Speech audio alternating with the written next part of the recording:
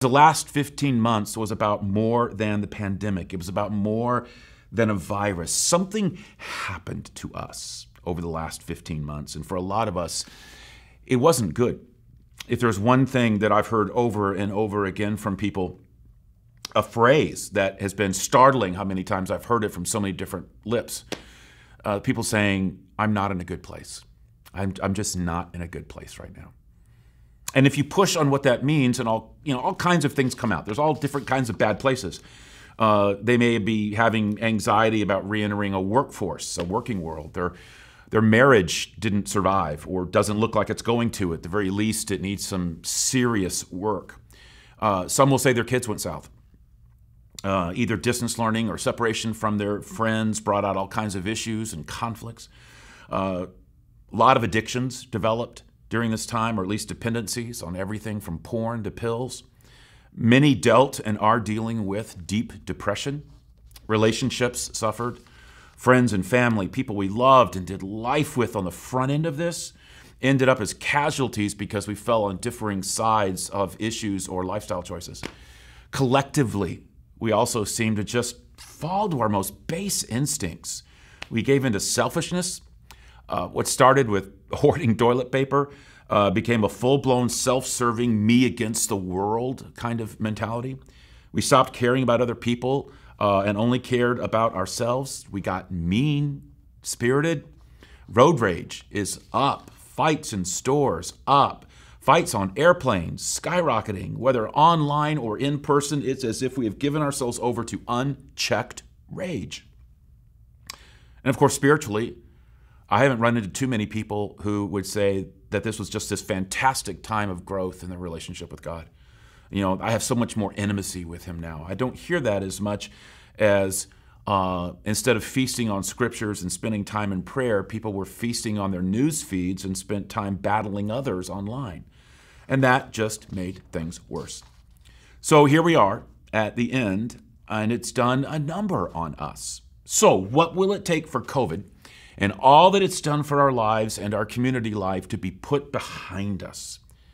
Well, what if everything that is ending, everything that we have been waiting to end, are metaphors of what we really need to do to bring this to an end? What if taking off our masks is absolutely what we need to do, but it's not about cloth?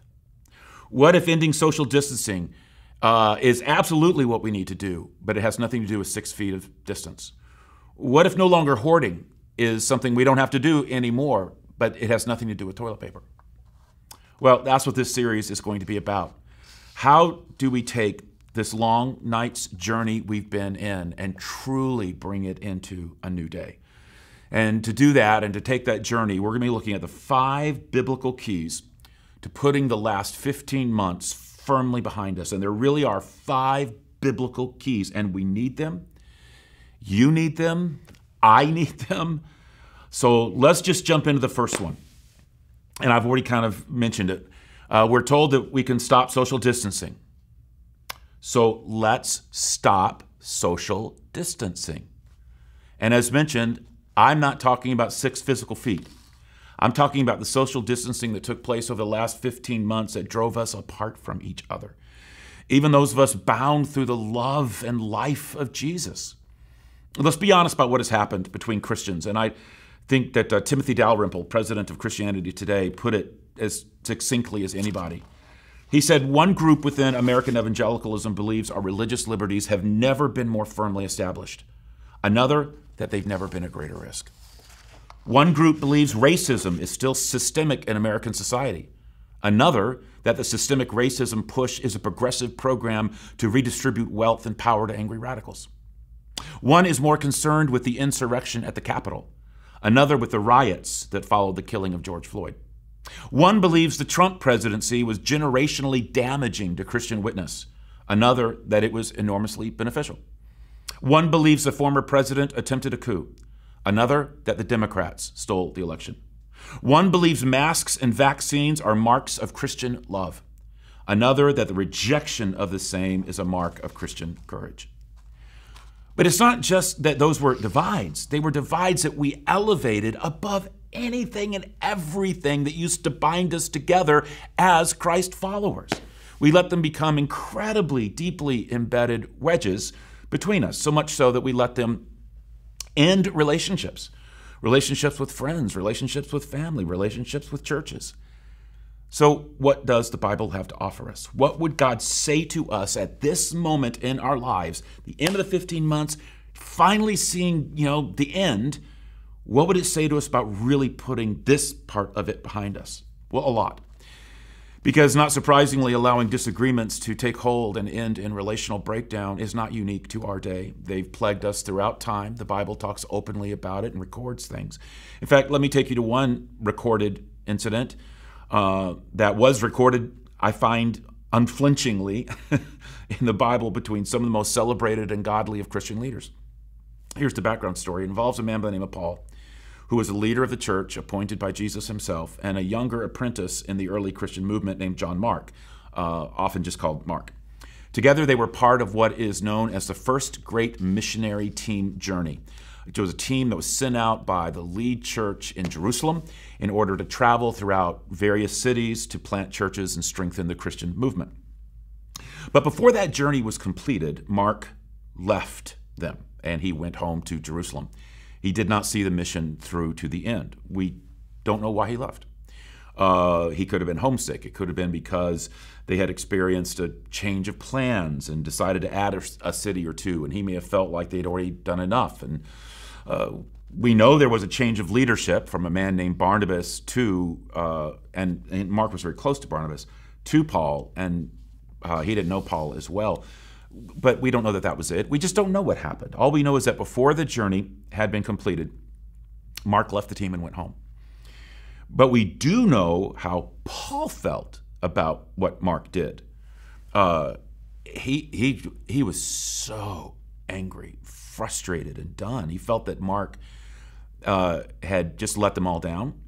Uh, so much so that later, when Barnabas suggested that they invite Mark along for a second journey that they were planning, Paul would have none of it.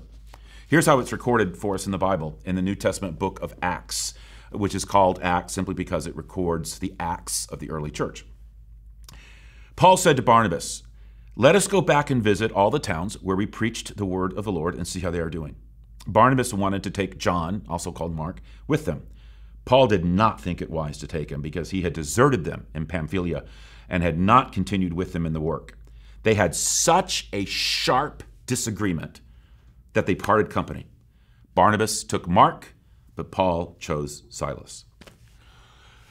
You don't have to read too much between the lines on that one. They broke up over a difference of opinion on Mark. In essence, Paul said, If Mark is in this, I'm out. Barnabas said, If Mark isn't in this, I'll be out.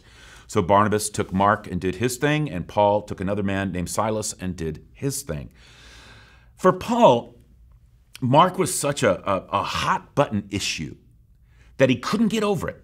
He, he just couldn't get past it. For, for Paul, Mark did something or stood for something that he just couldn't navigate.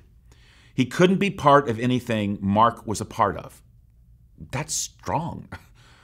Uh, but there are some issues that we have elevated to a deal breaking status. Whether or not to wear masks, whether or not to be open or closed, whether or not to get vaccinated, whether or not we should advocate for vaccinations. So maybe just imagine Paul being a, a pro mask wearing, close in person services, get vaccinated out of love for others guy, and Mark, this virus downplaying, let's keep meeting uh, I'll get a vaccination when hell freezes over guy. Doesn't matter who is right or wrong. They allowed it to become this deeply relational divide. So, what happened to Mark? Well, it turns out that Barnabas giving him a second chance was a good call, at least for the uh, the kingdom, at least for the cause of Christ. Mark not only continued to work for the strength and growth of the early church, he even wrote uh, one of the four biographies of Jesus contained in the Bible. If you've heard of the four biographies, also called the Gospels, which simply means good news, of Matthew, Mark, Luke, and John, named after the men who wrote them, that's the Mark we're talking about. But no matter what Mark did later, was that still the end of the relationship between him and Paul? Would the divide that they had over that first missionary journey and whatever happened, Would that ever be uh, healed? Would that be the last word? Well, we know. Years later, toward the end of Paul's life, the Bible records an interesting little event. Uh, in one of two letters that Paul wrote to a younger leader he was mentoring by the name of Timothy, he, he said this at the end, almost like a throwaway line, that if you didn't know the earlier story, you wouldn't know the significance of this. But he had this little throwaway line at the end of his letter to Timothy. He said, Get Mark and bring him with you because he is helpful to me in my ministry. Paul asked Timothy to bring Mark with him because Paul valued what he brought to his life's work. A complete turnaround from where they had been. Instead of excluding him, he's including him. Instead of evaluating him as a liability, he's now seen as a priceless asset. Whatever Mark did, whatever divide they had, it was no longer relevant. It was no longer a divide. So, what happened? Obviously, two things.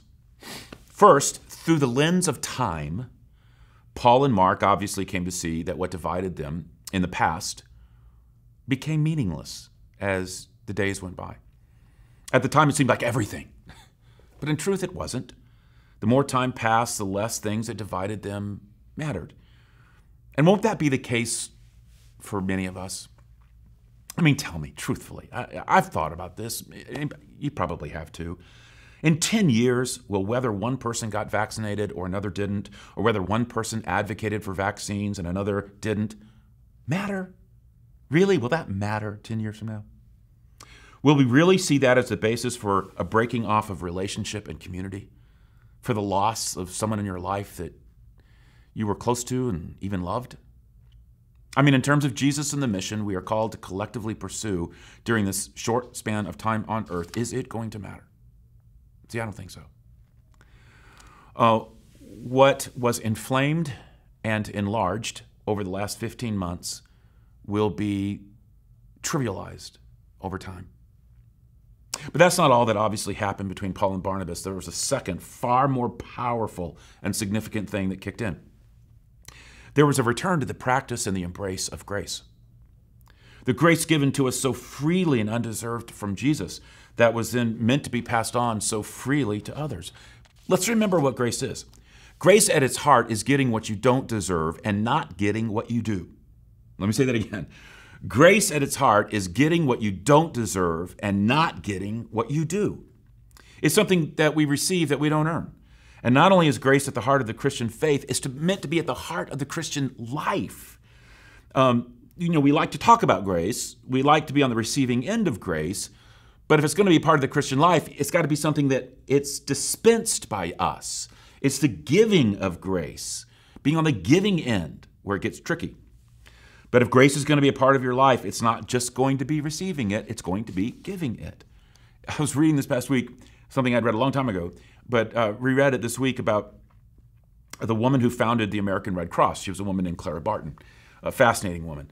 And a friend of hers once reminded her of uh, an especially cruel thing that had happened to her many years before. And Clara didn't seem to recall it.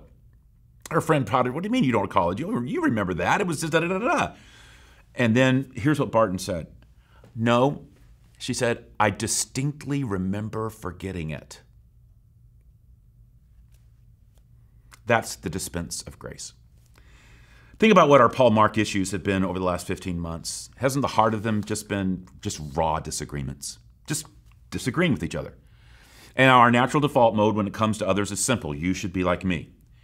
And over the last 15 months, it's also been expanded to you should think like me, you should feel like me, you should vote like me, you should respond to current events like me. You should get the news feeds that I get like me. You should make the choices that I'm making. You should be following the lifestyle I'm living. If not, you're wrong.